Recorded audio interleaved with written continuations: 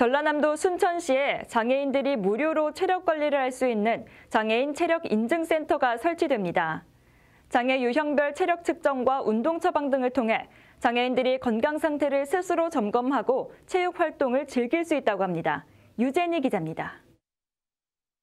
순천시 오천동에 장애인과 비장애인이 함께하는 반다비 국민체육센터, 순천 어울림센터 공사가 한창입니다. 센터는 지하 1층, 지상 3층 규모로 다목적 체육관과 운동치료실 등 장애인을 위한 기능이 강화된 체육시설과 도서관이 어우러진 복합 공간으로 설계됐습니다.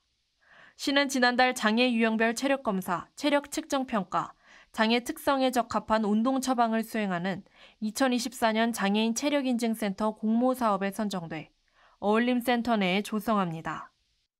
순천시 어울림센터가 완공되면 장애인과 비장애인이 함께 스포츠를 즐기고 지역사회와 소통하는 공간이 될 뿐만 아니라 문화와 체육을 함께 즐길 수 있는 공간이 될 것입니다. 전남은 올해 8월 기준 장애인 13만 9,800여 명이 거주하고 있으며 장애인 비율은 5.4%로 전국 7번째 순위입니다. 전남 최초로 순천에 장애인 체력인증센터가 들어서게 돼 기존의 타 지역까지 이동해야 했던 지역 장애인들의 불편이 크게 해소될 것으로 기대됩니다. 복지TV 뉴스 유진입니다.